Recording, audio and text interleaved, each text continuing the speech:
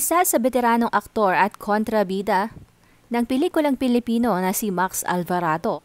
Ganito pala ang istorya ng kanyang tunay na buhay.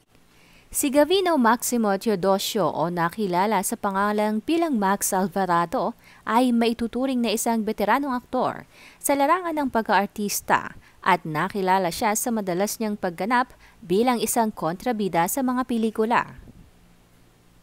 Si Max Alvarado ay ipinanganak sa Maynila noong February 19, 1929. Ang kanyang mga magulang ay sina Gonzalo Teodosio at Maria Maximo.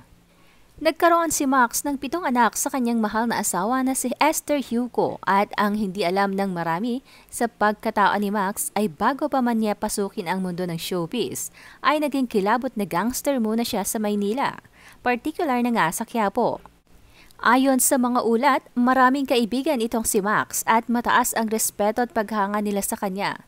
Dahil bukod sa matapang at matipuno ang pangangatawan, ay malakas din ang loob ni Max at wala siyang inaatrasan kahit na sino man basta nasa tama siya. Marami rin umanong barkada si Max dahil marunong siyang makinig at magpayo sa mga ito. Sa katunayan nga raw ay si Max pa mismo ang kumikilos upang gumawa ng paraan nang sa ganun ay malutas kaagad ang problema ng mga kaibigan.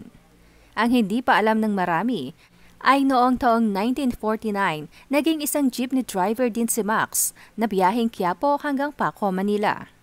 Bukod sa pagiging jeepney driver ni Max ay isa din pala siyang magaling na mananayaw at sa katunayan nga ay isa siyang dance instructor sa isang dancing school sa Quiapo.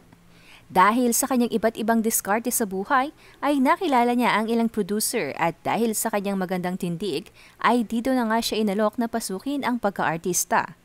Dito na nga nagsimula ang kanyang karera sa mundo ng showbiz at dahil marami ang napahanga sa kanyang kakaibang atake sa pag-arte, na gumagalaw ang buo nitong katawan habang bumibitaw ng kanyang mga linya sa harap ng kamera, na talaga namang tinangkilik at minahal ng kanyang mga tagahanga. Lubos naman siyang hinangaan ng minsang may eksena at aksidente itong nahulog sa sinasakyang kabayo at nagkaroon ng bale ang kanyang braso ngunit imbis na magpagaling muna ay itinuloy niya ang eksena kung kaya't bumilib si Fernando Poe Jr. sa kanyang pagiging profesional sa harap ng kamera kung kaya naman dito na nagsimula ang mabuting pagkakaibigan nilang dalawa. Si Max Alvarado ay kilala hindi lamang sa mga matatanda kundi pati sa mga bata. Noong minsan na ginampanan niya ang karakter ni Lizardo sa pelikulang Panday na pinagbidahan naman ni The King FPJ. At dahil nga si Max ay laki sa hirap, marunong siyang humawak ng kanyang pera, kung kaya naman nakaipon siya at nakapagpundar ng ilang bahay at lupa. Napagtapos din niya sa pag-aaral ang kanyang mga anak. Nagretiro si Max sa pag-aartista ng maganda ang buhay, subalit ang lahat ng bagay dito sa mundo ay may katapusan. Ika nga ay walang forever. Noong April 1997 ay nagpaalam na nga ang veteranong aktor sa edad na 67 dahil inatake ito sa puso. Talaga namang kahanga-hanga ang kanyang naging ambag sa mundo ng showbiz kung kaya naman hindi maitatanggi na isa siya sa mga naging matitibay na haligi ng industriya ng pelikulang Pilipino.